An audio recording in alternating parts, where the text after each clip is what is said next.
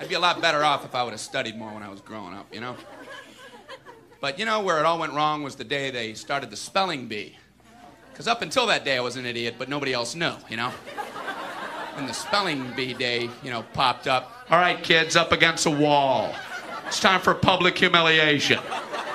Spell a word wrong, sit down in front of your friends. You know, that's great for little egos. Hey, look at me, I'm a moron. I wasn't even close. I was using numbers and stuff. That's why I admired that kid who spelled it wrong on purpose so he could sit down, you know? He knew he wasn't going to win, so why stand there for three hours? First round, cat, K A T, I'm out of here. then as he passed you, I know there's two T's. I remember my teacher asked me, Brian, what's the I before E rule? Um, I before E, always. What are you, an idiot, Brian? Well, apparently. So she explains it, no, Brian, it's I before E, except after C, and when sounding like A, as a neighbor in way, and on weekends and holidays, and all throughout May, and you'll always be wrong no matter what you say. That's a hard rule. That's a, that's a rough rule. Plurals were hard too. Brian, how do you make a word a plural? You, put a S. You, you put a S at the end of it. When? On weekends and holidays. No, Brian, no, let me show you.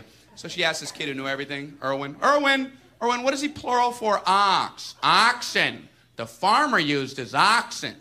Brian, what? Brian, what's the plural for box? Boxing. I bought two boxing of donuts. No, Brian, no. Let's try another one. Erwin, what is he plural for? Goose. Geese. I saw a flock of geese. Brian, what? Brian, what's the plural for? Moose. Moosin. I saw a flock of moosin. There are many of them, many much moosin.